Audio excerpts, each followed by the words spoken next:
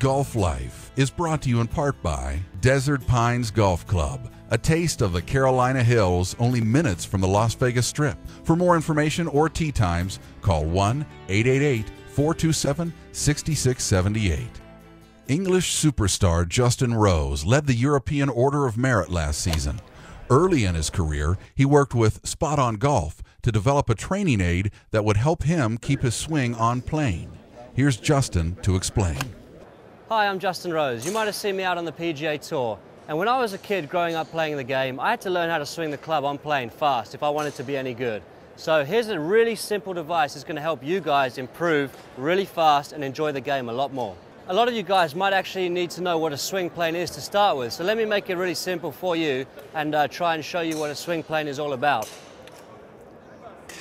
As you can see here, the driver has a much flatter swing plane than the 8 iron. So the great thing about the spot on swing plane is that I can attach it to any club and begin to learn how to swing the club on plane.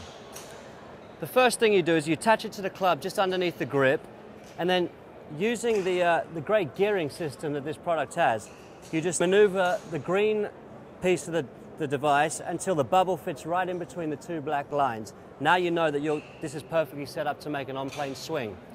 What we then do is we move into our dress position. And from here, we don't worry anymore about the green, the green part of the device. Now we're concerned about the, the red part of the device. You make a perfect backswing, and you now see that the bubble here is right in between the two black lines, and I know I'm perfectly on plane halfway back. So let me take you through a little routine that I might use while practicing with this product. Stand behind the ball.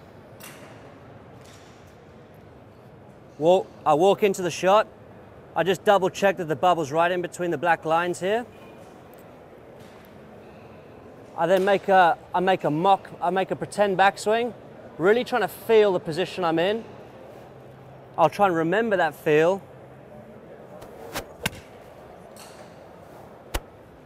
And then go ahead and hit the shot.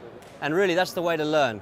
Practice makes perfect. And the other thing I want to say is feel and real are two totally different things.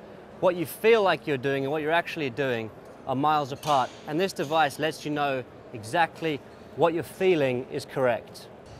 If you guys would like to find out more about the Spot On Swing Plane, visit spotongolfusa.com and also be sure to check me out on the PGA Tour. I hope to see you guys out there. Thanks for listening.